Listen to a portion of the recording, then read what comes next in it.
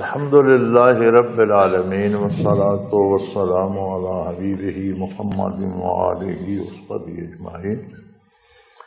أعوذ بالله من الشيطان الرجيم. بسم الله الرحمن الرحيم. وعن أبي هريرة رضي الله تعالى عنه قال قال رسول الله صلى الله عليه وسلم، قال الله تعالى يوزيني ابن آدم. يسب الظهر وأنا الظهر بيده الأمر بيد الأمر أقلب الليل والنهار متفق عليه أو كما قال رسول الله صلى الله عليه وسلم حضرت ابو حریرہ رضی اللہ تعالی عنہ سے روایت ہے رسول اللہ صلی اللہ علیہ وسلم نے فرمایا فرماتے ہیں اللہ کریم آدم کا بیٹا مجھے ایزا دیتا ہے وہ زمانے کو گالی دیتے اور میں زمانہ ہوں، میرے ہاتھ میں حکم ہے، رات اور دن کو میں بدلتا ہوں۔ بڑی عجیب بات ہے۔ رب جلیل کا یہ ارشاد، عموماً ہمارا عام انسانوں کا یہ رویہ ہے۔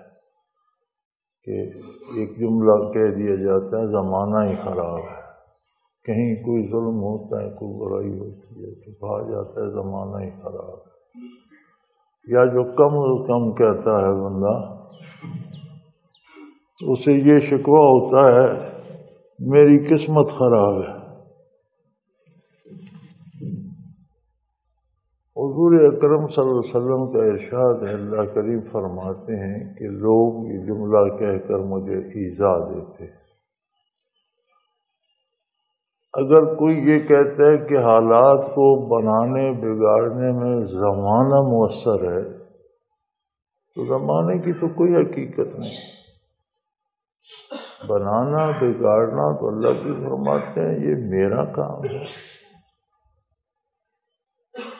اور اس بارے میں قرآن کریم میں ارشاد ہے کہ جو پریشانیاں، جو مصیبتیں، جو دکھ، جو تکلیفیں آتی ہیں بیمار کا سبق ہے جی کو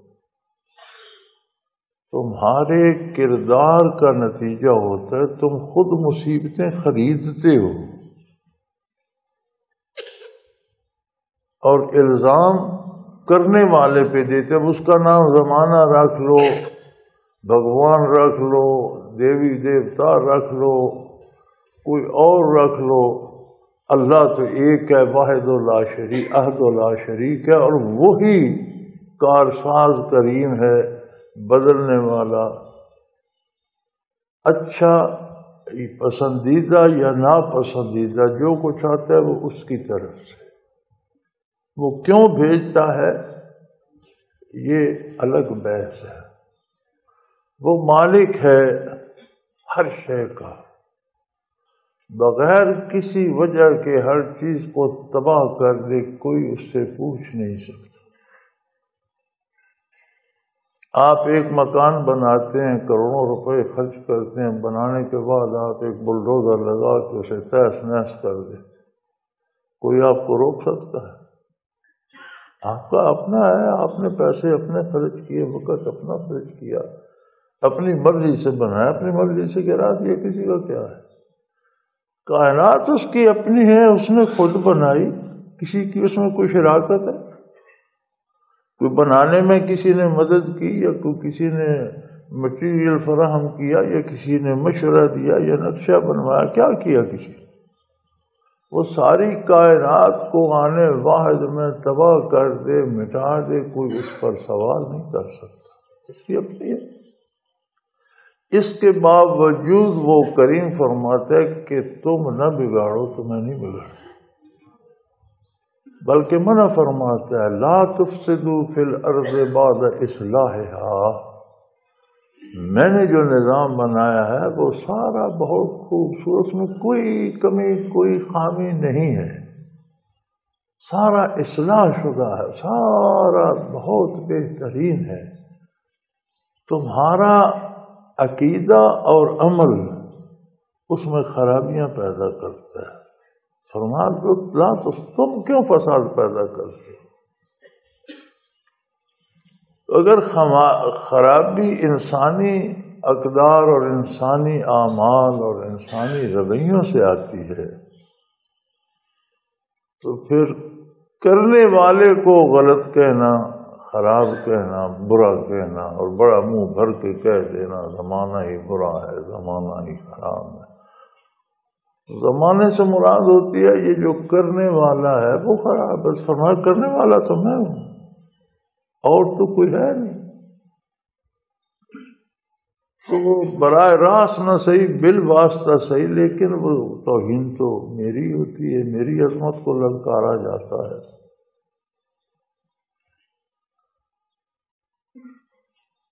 کہتے ہیں میری قسمت ہی خراب ہے۔ قسمت بنانے والا خراب بناتا۔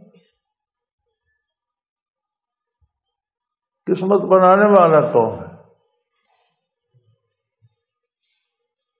تو غلطیاں کرتا ہے، خراب بنا دیتا ہے۔ ایسی بھی بات اس نے بڑی خوبصورت بنائی ہے۔ ہم خود اسے خراب کرتے۔ ہمارا کردار اسے بگاڑتا ہے۔ اس نے ہمیں اختیار دیا ہے۔ دونوں راہیں دکھا دی ہیں۔ ہدے نا سبھی اما شاکر اما کپور دونوں راستے دکھا دیے ہیں۔ جہاں کھڑے ہو تم۔ یہاں سے دو راستے ہیں۔ ایک دائیں کو جاتے ایک بائیں کو جاتے دائیں پر چلو گے تو یہ شکر کا راستہ ہے۔ بائیں نکلو گے تو یہ ناشکری کا ہے۔ ناشکری کرو گے تو اس کے نتائج آئیں گے۔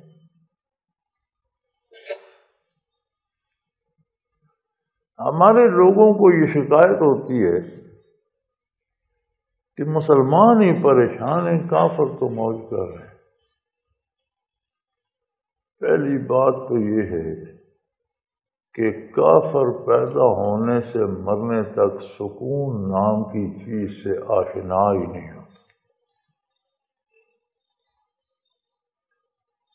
کڑوی چیز اسے کڑوی لگتی ہے جس نے کبھی میٹھا کھایا ہو۔ جس نے ساری عمر میٹھا چکھا ہی نہ ہو۔ اسے کڑوا کھانے سے کیا فرق پڑتا ہے؟ وہ سمجھتے چیزیں ہوتی ہے ایسی۔ کوئی کافر ہوش سنبھالنے سے لے کر مرنے تک سکون کا ایک سانس نہیں لے سکتا۔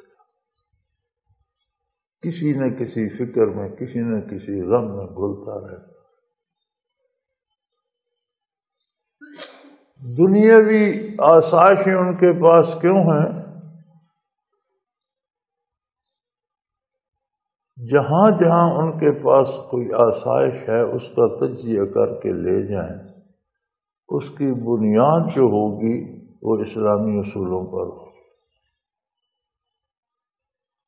اگر ان کے پاس دولت ہے تو ان کا کاروبار اسلامی اصولوں کے مطابق ہم نے تو وہ زمانہ دیکھا ہے نا، تقسیم ملک سے پہلے عموماً ہمارے علاقے میں تو سارے دکاندار اور تاجر صرف ہندو سکھ ہی تھے۔ مسلمان تو اس کو دکانداری کو اپنی توہین سمجھتے تھے۔ فوج میں نوکر ہو جاتے تھے یا کاشتکاری کرتے تو انہیں دیکھا تو جس چیز کی زیادہ مانگ بھی ہوتی اس کے ساتھ وہ منافع کم کر دیتے۔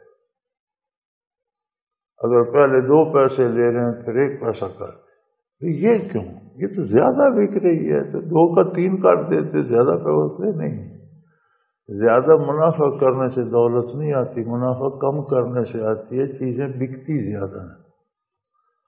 ہم جب منافع کم کرتے ہیں تو زیادہ گاہک اس طرف آتے ہیں، سستی لے کر تو ہماری جہاں پانچ سو کی سیل ہونی ہے، وہاں پانچ ہزار کی ہو جاتی ہے۔ تو جو منافع ہم کم کرتے ہیں، وہ کم کی بجائے سیل اور فروخت زیادہ ہونے کی وجہ سے زیادہ جمع ہو جاتا